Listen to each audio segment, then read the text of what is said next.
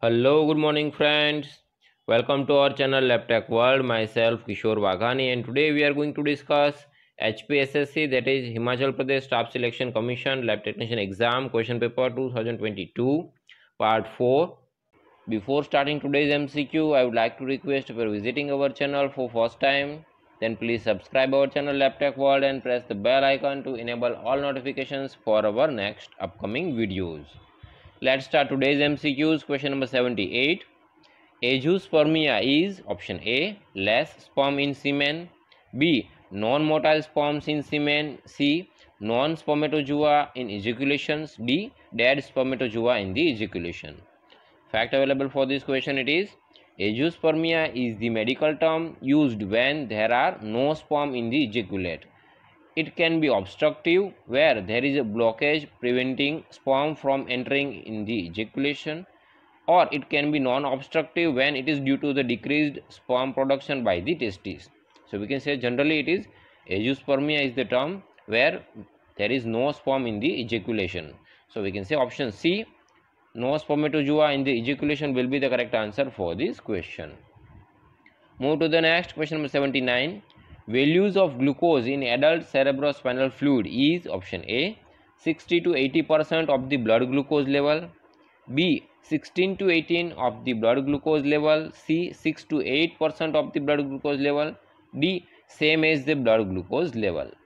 Fact available for this question it is normal levels of glucose in the CSFs are greater than 50 milligram per deciliter to 80 milligram per deciliter or in millimole it is 2.8 millimoles per liter to 4.4 millimoles per liter. If you have lower level of the glucose you may have an infection. So we can say the level of glucose in the csf is generally around 60 to 80 percent as normal blood sugar level is 70 to 1110 milligram per deciliter and the csf glucose level is 50 to 80 milligram per deciliter. So we can say it is option a 60 to 80 percent of the blood glucose level will be the most appropriate answer for this question. Move to the next question number 80 at ninth week of the fetal life the measure hemoglobin is option a hba b hbf c hba2 d hb variant. Fact available for this question it is a baby growing in the womb has high level of hbf that is fetal hemoglobin the level of HbF usually drops to tiny amount about 6 months after the birth. HbF contains 2 alpha and 2 gamma subunits while in the major form of adult hemoglobin that is HbA contains 2 alpha and 2 beta subunits. So we can say from the given information during the fetal life measure hemoglobin in the blood it is HbF or fetal hemoglobin. So we can say option B HbF will be the correct answer for this question. Move to the next question number 81. Tissue flotation bath is used for option A for removing wrinkles in tissue section, B to harden the tissue, C to fix the tissue, D to liquefy the tissue sections. Fact available for this question it is tissue flotation bath is required after the step of step of cutting paraffin sections and before they are placed on the slide after staining. It lets tissue relax and smoothen before being mounted on the slide as well as make paraffin stick to the slide. This ensures the removal of wrinkles and folds before sections are placed on the slide. So we can say the main purpose of using tissue flotation bath is to remove the wrinkles in the tissue sections. So we can say option A will be the correct answer for this question. Move to the next question number 82. Left ventricle is option A one third time or one third of the left right ventricle, two third of the right ventricle, three smaller than the right ventricle, four or D equal size in the equal in the size to the right ventricle. Fact available for this question it is the left ventricle is the main powerhouse of the heart having the having to pump blood all the way around the systemic circulation. Because of this it has the largest mo most muscular walls of any of any of the chambers. In fact it is three times as thick as the right ventricles but talking about the size the right ventricle is equal in the size to the left ventricle. So we can say option D or option 4 equal in the size to the right ventricle will be the correct answer for this question. Move to the next question number 83. Papanicolaou staining needs option A wet fixation, B dry fixation, C no fixation, D post fixation. Fact available for this question it is the Papanicolaou smear is an effective method for early detection of cervical cancers. The routine practice of staining it is immediately fix the cervical smear in 95% ethyl alcohol. You can say if it is a type of wet fixation method. An alternative method for rehydrating the air dried cervical smear followed by the fixation and conventional staining method can overcome most of the problems associated with the short supply and the storage of the alcohol. Wet fixation of the slide and transportation transporting them to the cytology centers. If pap smear are prepared at the peripheral center. So we can say it is a type of wet fixation technique that is used for the fixation of the pap smear or Papanicolaou smear. So we can say option A wet fixation will be the correct answer for this question. Move to the next question number 84. Plasmin activator causes option number 1. Option A clotting, B fibrinolysis, C thrombus formation, D all of these. Fact available for this question is plasmin is an autologous serum protease that is a key component of the fibrinolysis cascade.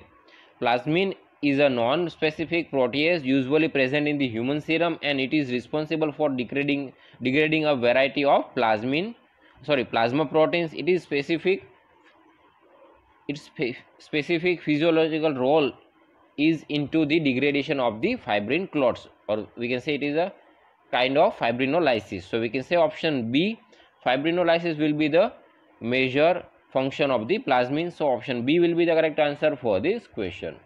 Move to the next question number 85 the bronchioles end up into a balloon like structures called or known as option a pons b epididymis b c alveoli d mediastinum Fact available for this question it is the bronchial tubes divide into the smaller air passage called bronchi and then into the bronchioles. The bron these bronchioles and into the tiny air sacs or air bags called alveoli that you can see in the given figure where oxygen is transferred from the inhaled air to the blood. After absorbing oxygen the blood levels blood leaves the lung and it carries to the heart and then through the various other parts of the body. So we can say it is a alveoli that is the airbag or balloon like structure that forms after the division of the bronchioles. So we can say option c alveoli will be the correct answer for this question. Move to the next question number 86 oxygen forms option a 11% of air b 21% of air c 48% of air d 78% of air it is one of the general knowledge question and the correct answer for this question is 21% of the air is composed of oxygen. So option b will be the correct answer for this question. Move to the next question number 87 hemoglobinuria is seen in option a hemolytic anemia b iron deficiency anemia c megaloblastic anemia d non-megaloblastic anemia. Fact available for this question it is what is hemoglobinuria Hemoglobinuria is a condition in which oxygen transported protein or oxygen transporting protein hemoglobin is found abnormally in the high concentration in the urine. The condition is caused by the excessive intravascular hemolysis in which large number of red blood cells are destroyed thereby releasing the free hemoglobin into the plasma. Excess hemoglobin is filtered by the kidney which excrete into the urine giving urine a purple color. So we can say in case of hemolytic anemia where we can see the this condition or hemoglobin in the urine known as the hemoglobinuria so we can say it is option a hemolytic anemia will be the correct answer for this question.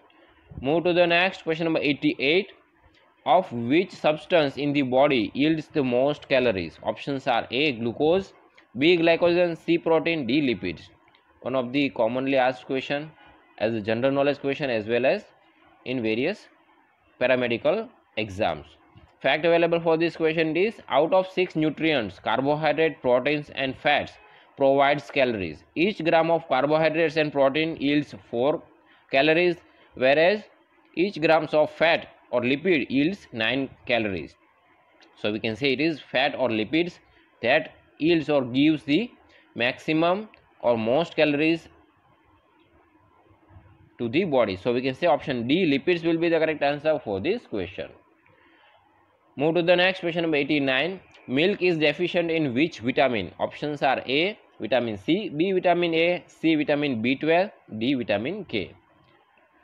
It is also one of the general knowledge question. Fact available for this question it is milk is rich good source of calcium magnesium phosphorus potassium selenium and zinc many minerals in the milk are associated together in the form of salt such as calcium phosphate talking about the mineral milk is deficient in the iron so if it is asked for the minerals it then it will be the iron will be the correct answer for this question here it is asked about the vitamins the vitamin that is not present in the milk is vitamin C. Vitamin C is known as the ascorbic acid or ascorbate.